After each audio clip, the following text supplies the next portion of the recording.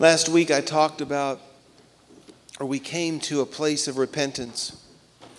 And um, I want to continue that theme this morning because I believe that deep and true repentance is the foundation upon which God can move in His Spirit on a group of people. That if we will humble ourselves, that He will come and He will lift us up. And so the title for the message this morning is Submit Yourselves to God. Just kind of just like that. I want to read a passage of Scripture, James 4, starting in verse 7. It says, Therefore, submit to God. Resist the devil, and he will flee from you. Draw near to God, and he will draw near to you. Cleanse your hands, you sinners, and purify your hearts, you double minded.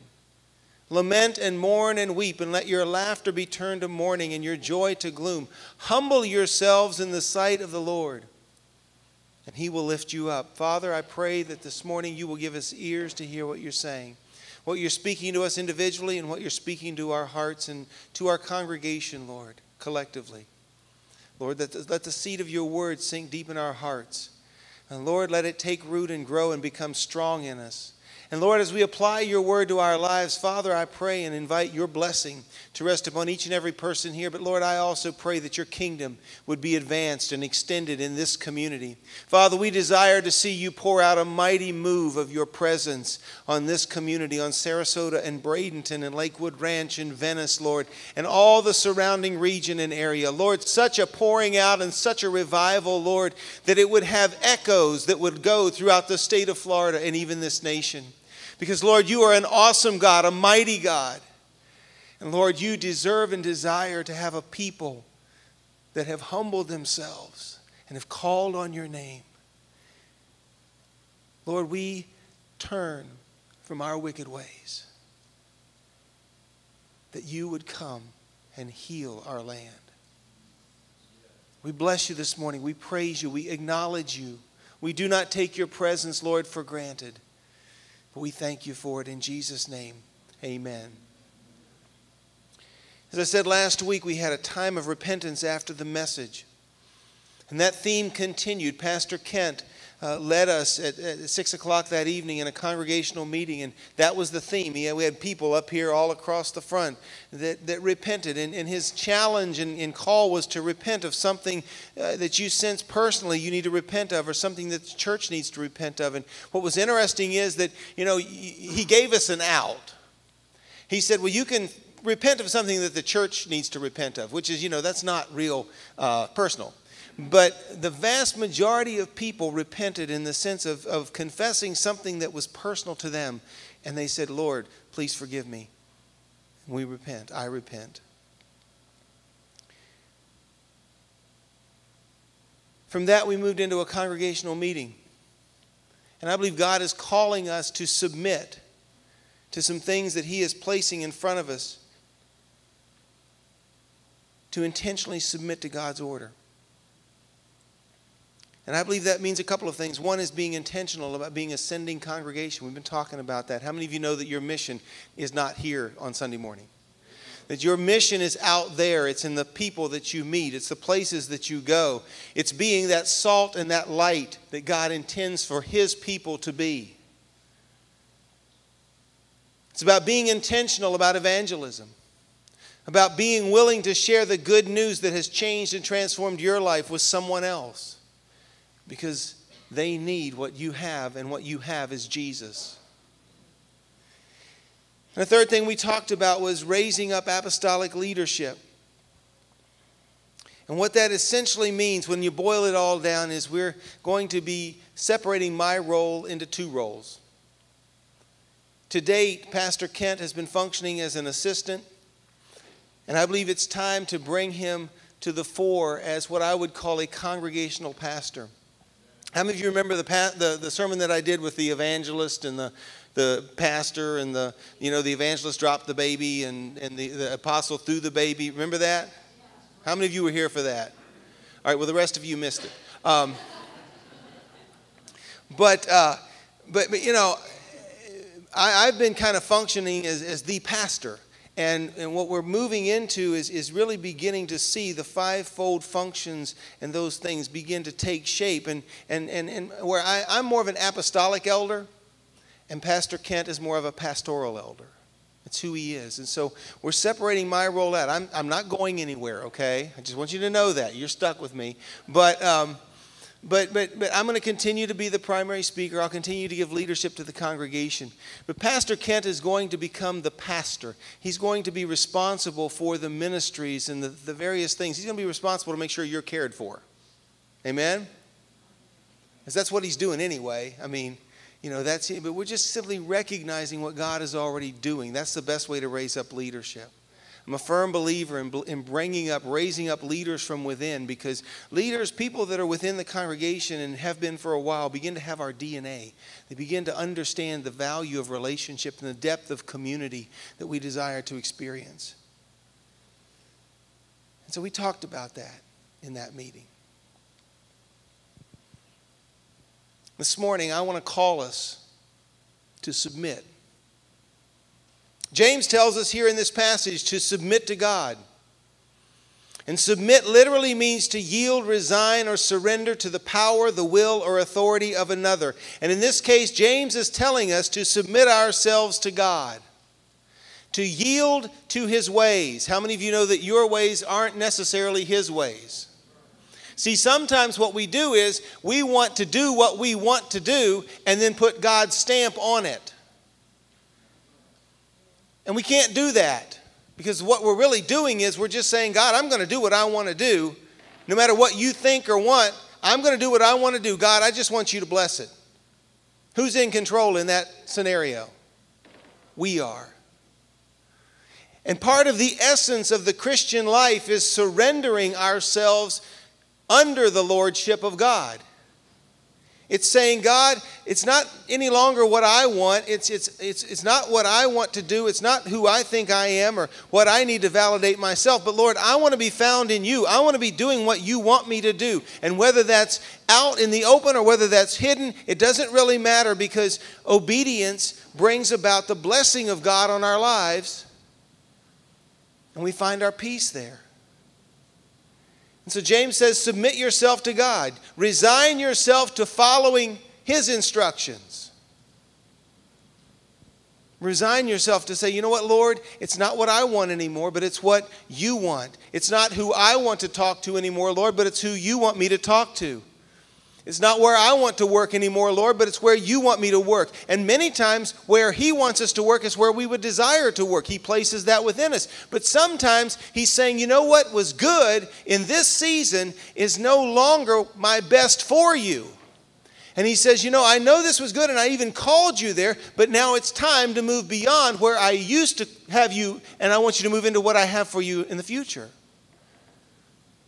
And if we're comfortable where we are, if we like where we are, you know, we've made friends finally with the people that are around us, we don't like this.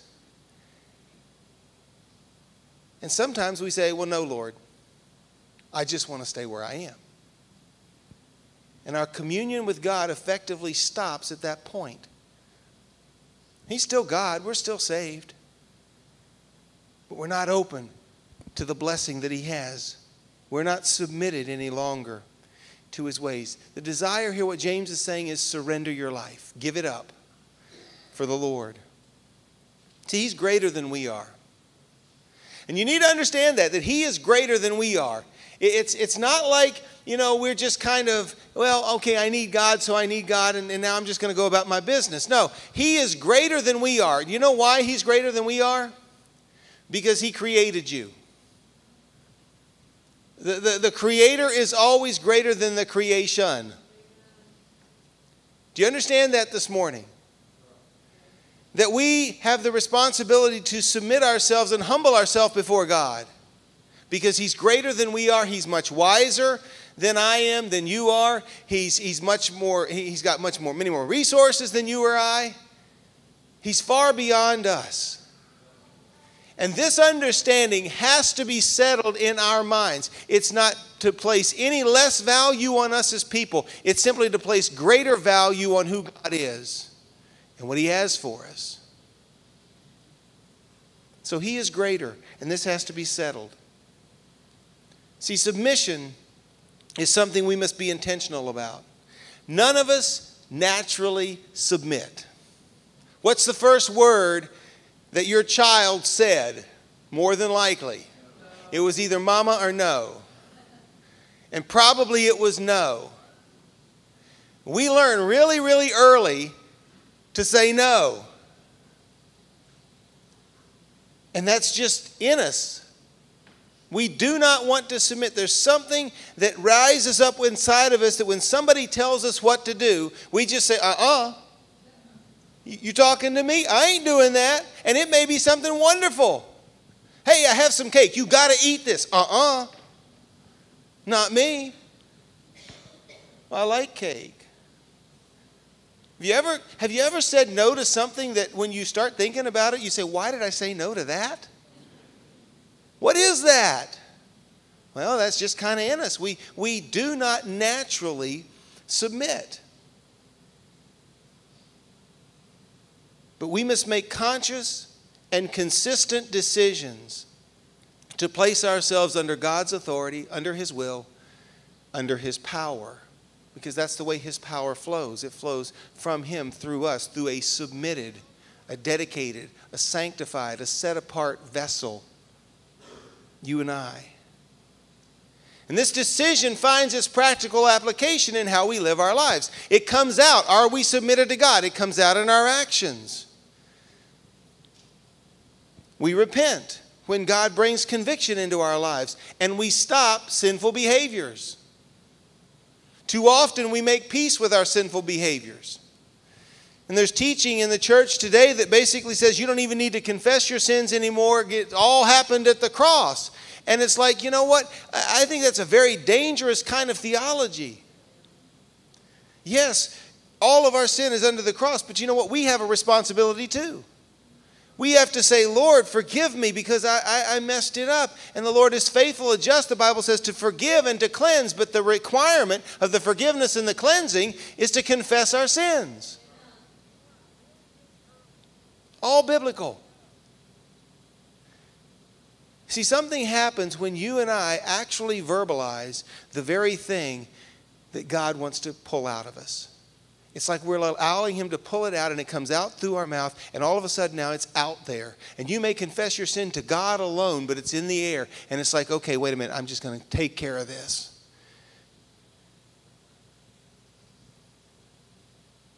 But it's not just about repenting and submitting to the things that God wants to take out of our lives for our benefit, by the way. But it's about submitting to the things that God wants us to do. It's about witnessing as He wants us to witness. It's about worshiping and coming into His presence. It's about prayer. It's about serving. There will be many things that God would have us to be about. And He's basically saying, when you submit to me, you are submitting to a way of life that will bring you blessing and contentment and grace, and it will bring you good things if you will submit to me.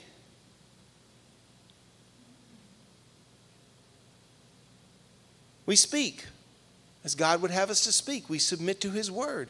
God may tell you to go talk to somebody. We have a choice. Are we going to submit to God? Or are we going to simply continue to walk in fear or in laziness or whatever it is? But it's not just actions, it's attitudes. When we submit to God, I believe God wants us to put on joy. How many of you got up this morning with joy? What did the rest of you get up with? Now, let me qualify that. How many of you got up with joy and coffee? Okay, a few more hands went up. The rest of you need some more coffee or something, okay?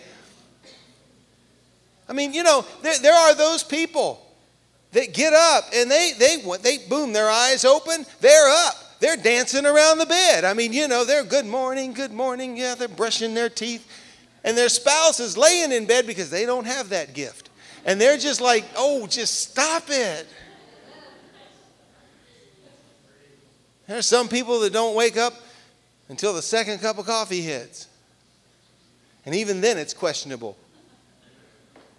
You know, that's just part of who we are. But you know, I believe that we can choose our attitudes. You can choose to be positive or negative. Same circumstances, hit the same people. And one person chooses, you know what, I am going to, to be positive about this. I'm going to see the good. And another person, they can, there can be 99 things that are right about the situation and one thing that's wrong, and they'll pick up on the one wrong thing. Don't be that person. Just don't do that. It's not worth it. See, God wants, God wants us to see our circumstances in a positive light. And it's not just a positive thinking light, it's positive because He would desire that we walk by faith and not simply by what we see. It's a, it's a desire to say, My God is able. Circumstances, they're the same. I don't particularly like the circumstances, but I believe that God is able to interrupt and intercede in my circumstances and make it different than what it is. Because our God is able. So, what's your attitude? Do you have an attitude of faith, or do you simply have an attitude of fear? Or an attitude of, well, I don't think it's for me. I mean, you know, we, we speak forth a lot of truth that we don't even realize that we're simply self fulfilling. I believe God would have us to walk in an attitude where we live in an awareness that we're on assignment and actively seek, seek opportunities to minister. We had our apostolic meetings this past week, and uh, we were in North Georgia, and it was, it was really a good time. Um, I mean, I, have talked to a number of different people, and one of the things, it was, it, there was peace there. There's, there's, they're all good, but it's like it was a time of refreshment, a time of peace, and, and people were ministered to. And we got back on Friday, and we hadn't seen our sons, and, um, and so we wanted to go out to, for dinner. And, um, and, and so we went, and, um, and we went to, to a restaurant, um, and, and we, were, we, we had to put our name in and wait. You ever wait at a restaurant? And this particular restaurant was very busy. I mean, there were people standing in the lobby and there were seats around the, the edge. And we were on a corner, and, and, and I was sitting on the corner, and, and my son, one son was sitting here, and then Nancy was over here, and, and the other son was sitting on the other side of her. And, and, and we were sitting there, and this couple sat down, and um, he was probably, I don't know, 80 ish. He, he had one of these oxygen tanks, you know, that, that go up through. And, uh, and, and, and you could just tell, I mean, he, he was he was he was fine. In fact, he asked about the bracelet. We, one of the, I forget who was had the bracelet on their their arm and said Galatians and had a little chit chat. Well, anyway, so we're sitting there. What do you do in a, in a room full of people? And and you know it's loud and everything. And and so I I look over at my son, and my son it was Daniel, and you know we're not paying attention. We're just bored. We're ready to eat. And I see him begin to engage this gentleman in conversation. And then I, I see him lean over, kind of like and talk into his ear. And, and, and the, the man responds back, and, and, and he, he, he nodded his head. And then, just very naturally, Daniel took his hand, put it on his shoulder, and he prayed for him. Took about 20 seconds. And, and you know, I'm, I'm, because I'm bored, I'm watching this. I shouldn't have been listening to the conversation, but you know, it's like, and, and, and Nancy didn't even know it was nothing, nobody knew anything was going on. And after 20 seconds, it just, you know, it was done. And, uh, and a little bit, just a minute or two later, the man, they, they called the, the name of the, the, this particular couple and they got up and they walked off. And I, I just thought about it, you know, that was easy. Come to find out the man had cancer and you know he was in, in had health issues and just different things.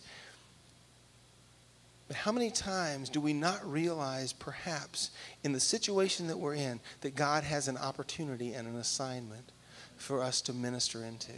And it can be very simple. Nobody else in that room knew what was going on except for those two people that, the gentleman and Daniel and me and God. And everybody else was into themselves, and that's fine. We have to live a, with an attitude of an awareness to submit to God in the everyday situations and circumstances that we find ourselves. See, I believe what James is saying here if we're not intentional about submitting to God, we will not have the power to resist the devil. We can pray, you can decree, You can declare all that you want, but the devil, and I want you to hear it now, you, the devil will not flee from you if you're not first submitted to God. It's not about you speaking something just because you have the authority to speak it. The authority comes from the foundation of Jesus in your life. And that foundation comes from your submission to Him. And so just because you speak the word, you wonder, well, well why, why, why isn't anything happening? Maybe it's because you're really not submitted to God. You just want God to do what you want to do so that you can continue to do what you want to do. Rather than submit yourself to God, find yourself in Him, do things the way He wants them done, go where He would have you to go, do what He would have you to do.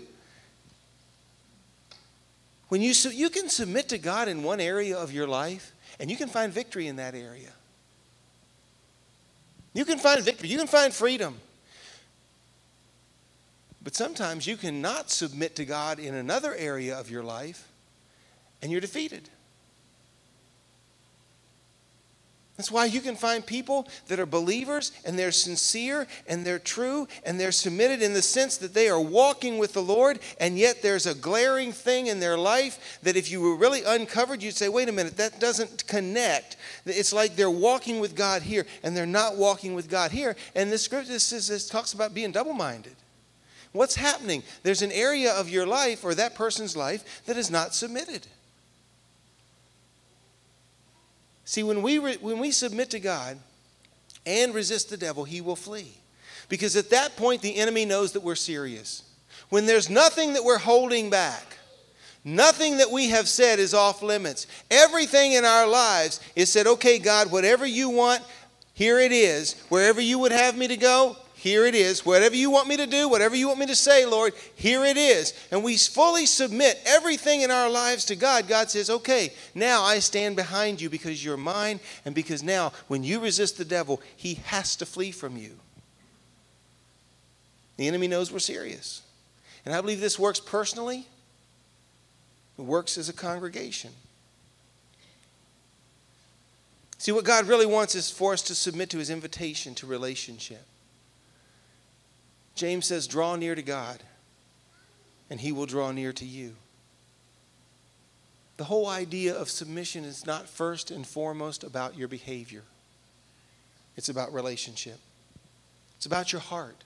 It's about walking with God. And your behavior, when you walk with God and submit to Him, your behavior will follow. Your behavior will begin to work itself out because God says, I'm taking responsibility for that. Now, I'm going to see that that works itself out. And He'll make the thing that you're attracted to unattractive. He'll make the thing that you think you want, you just won't want it anymore. Or the thing that used to bring you pleasure, now you just kind of turns you off. Why? Because you've submitted that to God, you've got serious about walking with Him, and instead of just simply not wanting to do these things, you begin to find yourself doing the things that draw you near to God, and this other begins to fade.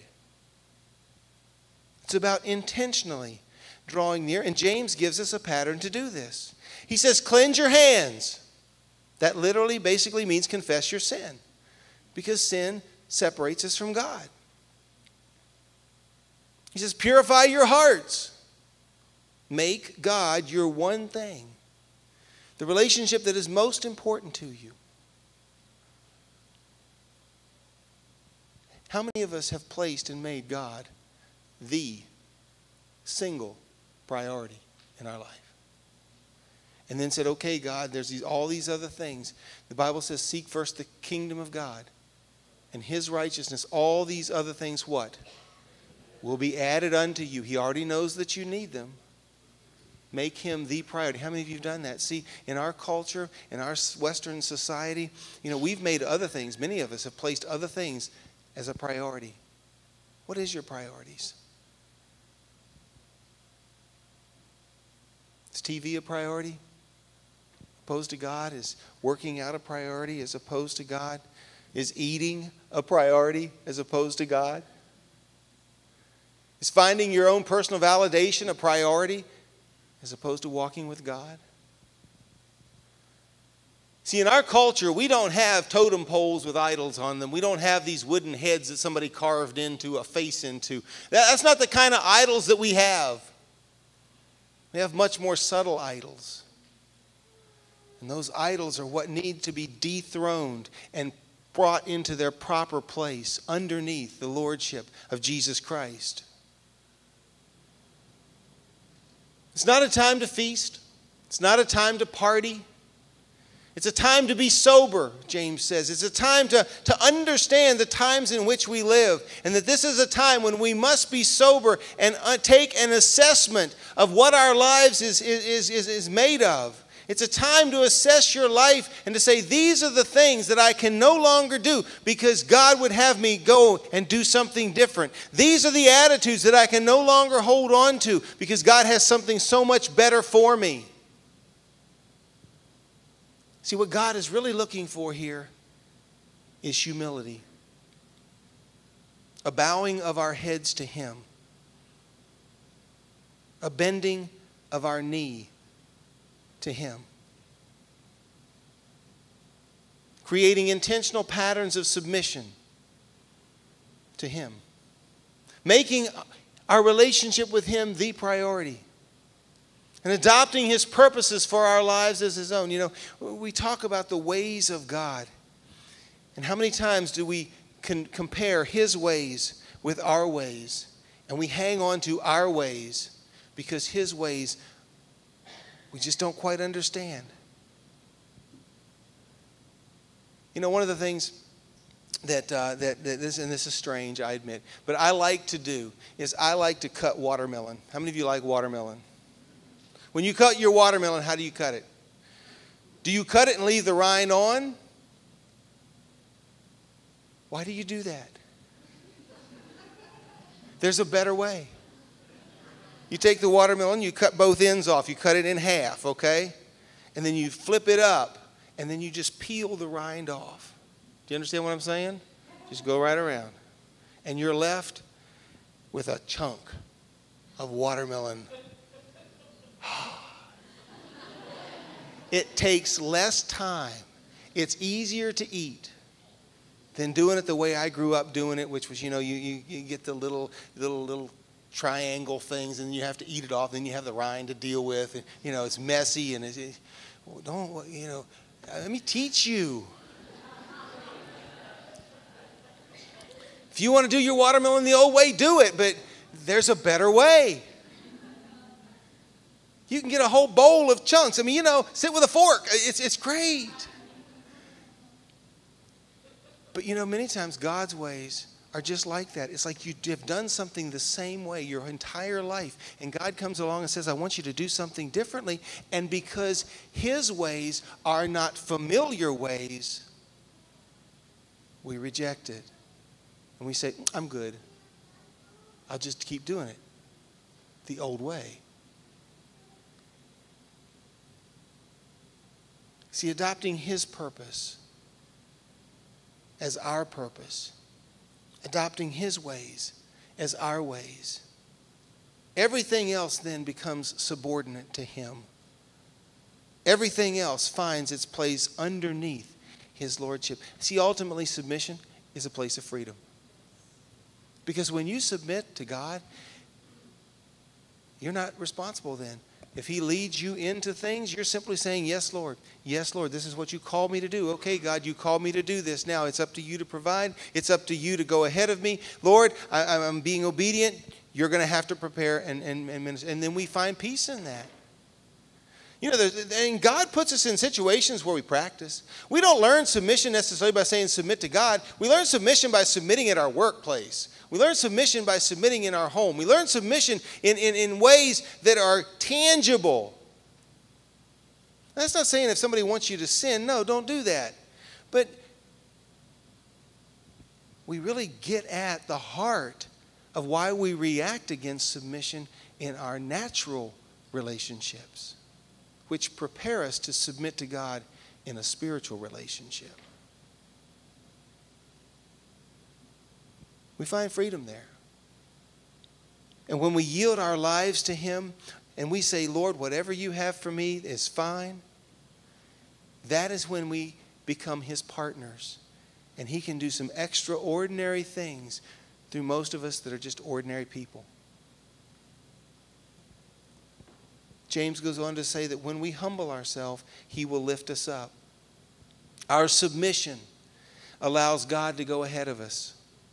He orders our steps, He prepares our way, and He leads us into the experiences that shape our lives.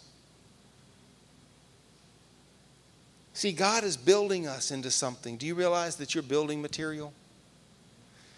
It says in, let me read this. It says in, in, in 1 Peter 2 that coming to him, Christ, as a living stone, rejected indeed by men, but chosen by God and precious. You also, as living stones, are being built up a spiritual house, a holy priesthood, to offer up spiritual sacrifices acceptable to God through Jesus Christ. See, you and I, we've come to Jesus this morning, and He receives us.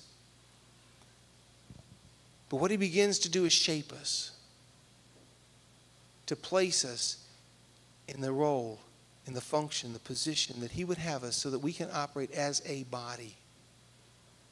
In my life before ministry, uh, I was a mason, and I used to do stonework.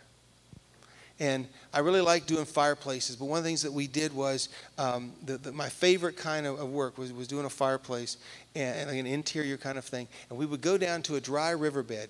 Okay, you don't have, we don't have these in Florida, I don't think, not like this. And, and, and there's rocks on the riverbed because they're dry. And some of them are big rocks, and you know some of them are, are smaller rocks. But if you take a couple of, of, sledgehammers, there's a certain kind of sledgehammer that you need for this, and, and you, you, you, you hit this, the, these rocks, they'll they'll uh, crack open.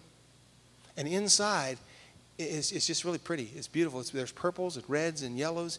And we would take these, and, and it was sandstone, and we would take these and take them to the job site, and we would build a fireplace with them. Now, the only problem was rocks don't naturally fit together. And you, as living stones, don't naturally fit together. And so I would have to take a hammer and a chisel and shape each rock to fit in the hole that it needed to fit into. And once you did that, then you had all your joints. They were nice, they were even, and it was beautiful. But you see, we're in a process of submitting to God and submitting to His chisel to allowing Him to trim off of us the things that are keeping us from our function and our destiny. Because when we submit to the chisel, if you will, when we submit to God's molding and shaping, that's maybe a nicer way to say it, we find contentment and peace and blessing and grace and prosperity because we're submitted. We have to submit to His authority to build us into His spiritual house. And that's what I pray that we can see this morning. That it's about me and my personal walk with the Lord, submitting those things that are not of Him. But it's also about submitting to the place and the people that He has me in so that we together can function as a part of the body of Christ, as a part of the bride of Christ. It's going to happen. One way or another, we are going to, to find relationship with each other. We're going to be fit together. And so the invitation this morning is very simple. What is his purpose for you that he's calling you to submit to? What are those actions that he is asking you to lay down so that you can submit to his ways? It's not about looking at other people and saying, well, this person needs to do this. Some of you hear a message like this and you're probably elbowing your spouse saying, Are you listening? But it's about looking at yourself, assessing your life, saying, Okay, Lord, what do I need to lay down? Make that change necessary. What are those unsubmitted areas of your life that God is asking you to submit to his lordship. Let's stand together. This morning, I just I have a sense that there's some people that last week you, you kind of halfway did this. God is calling us to a deep level of repentance, a level of repentance that allows Him to sanctify us and set us apart for His purpose. And I fully believe that part of His purpose is to pour His presence, His Spirit out on us in a very special, deep, dynamic way. Not just so that we're blessed, but so that we can change the circumstances, the situation, so that we can change the city around us so that we can see people come to Him and that we can be prepared and ready to disciple them and minister to them. To submit our time to Him, to submit our speech to Him, to submit our actions to Him, to submit our attitudes to Him. This morning, if you know, even if I've spoken and you know that there's an area of your life that you're saying, okay, God, and you're ready to say, I give up. I want you to come to the altar this morning. Someone will come and pray with you. We've all been there. The vast majority of us in this room have been to the altar at one time or another. This is a safe place to come and simply do business with God, to say yes to the Lord.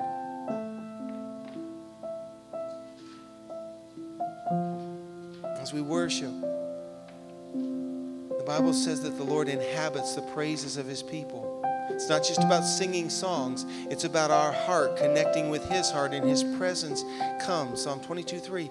And, and as He inhabits, He's enthroned. He comes, He sits, and there's a, a manifestation that begins to happen as people repent and lay down their lives and say, Lord, here am I, send me.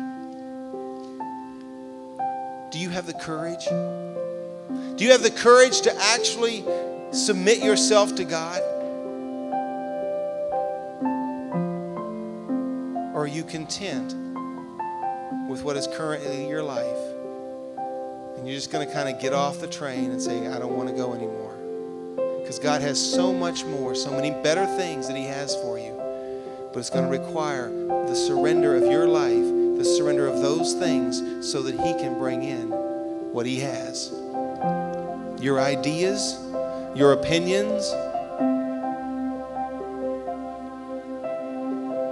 just sense, and, and, and this is happening in our network right now. It's, it's very exciting. It can be a little scary, but there's transition happening. There's things that are that God is speaking to people, and, and, and it's not that they've been in the wrong place. It's just that God now has another place, another function, a greater a greater thing that He has for, for people to do.